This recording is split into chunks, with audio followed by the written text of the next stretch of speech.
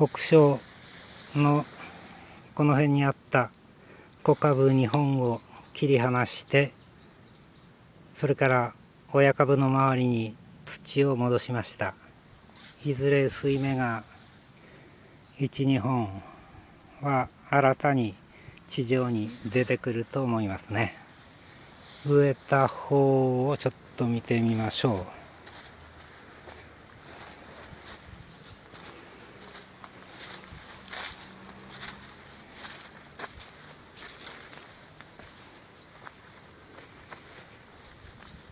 バナナ並木を作っているところなんですがこれは先に植えたドワーフオリノコですね。葉がだらんとしていますがまあこういう天気ですからいずれ活着するでしょう。えー、っと小さい方の北昇はここに植えました。両隣にはもっと前から植えてあるバナナがありますがでこの小さい北昇から一本飛んでここに大きい方を植えました。まあこれは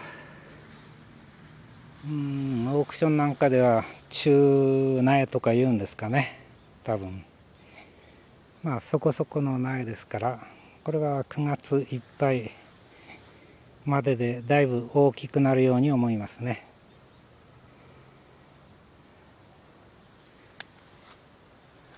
向こうに親株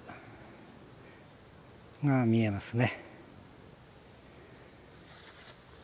もうちょっとここは植えたすと大体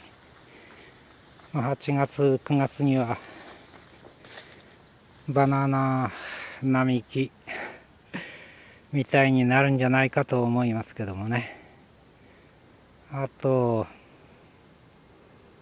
アンデスの乙女とかオリーブとかレモンとか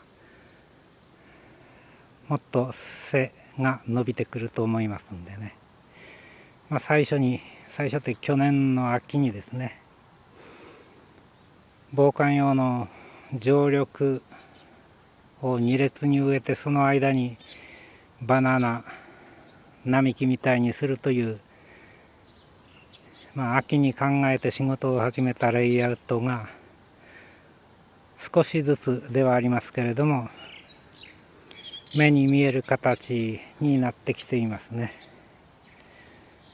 まあ考えた通りになるのは来年になるんですが、まあ、その前に越冬でのデグレードがありますからまた来年の5月前まではですね寂しい姿になるとは思いますけどもね。まあその繰り返しでいつか開花結実してくれればそれでいいわけですからね。こことあとこちらもバナナ並木らしくしていきたいんですがまだちょっと植えるべきバナナの小株が揃っていませんのでこれからですね。ここから先はもう梅になりますので南高梅小梅の収穫は終わったので南高梅になりますんでね、まあ、ちょっと色づいている木もありますしまだ青い梅のままの木もありますし一本ごとにやはりやはり梅の木も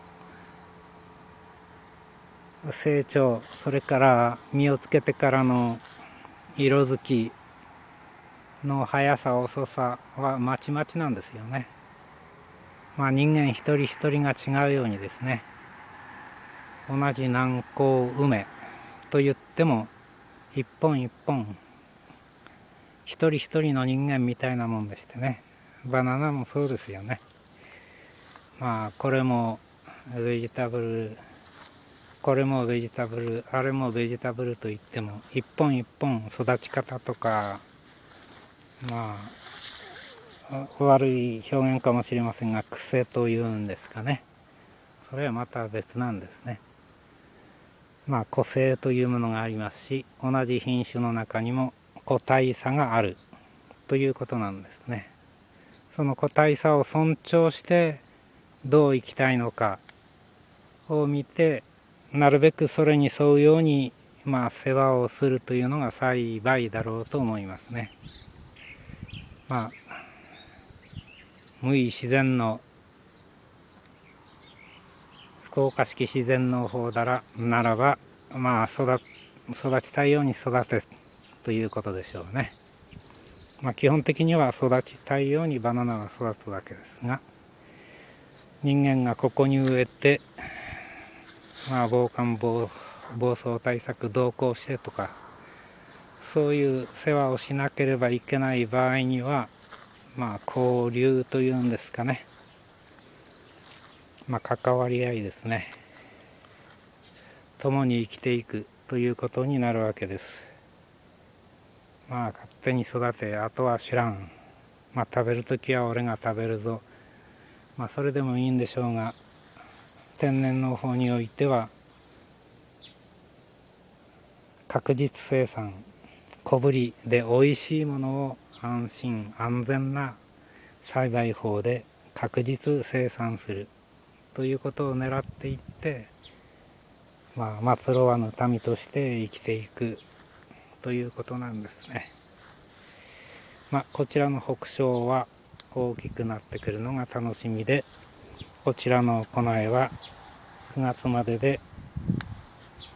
まあこれぐらいにはなるだろうと思いますがまあなんとかかんとか中苗としての一人前に一人前の苗になってくれればあとは防寒防走のためのこちらの